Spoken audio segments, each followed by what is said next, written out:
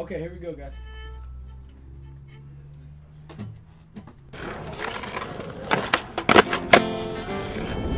That's how you do kickflip.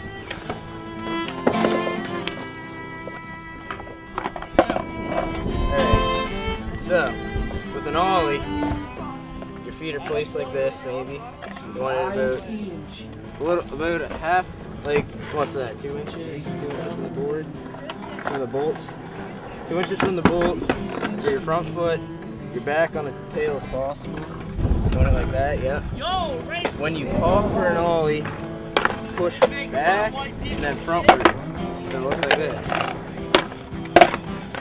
You're doing that. Your front foot is up here more, closer to the bolts, a little more back. So two inches back, closer to you.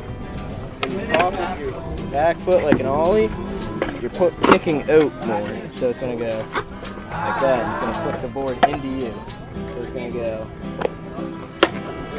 like that. That's how you do kickflip.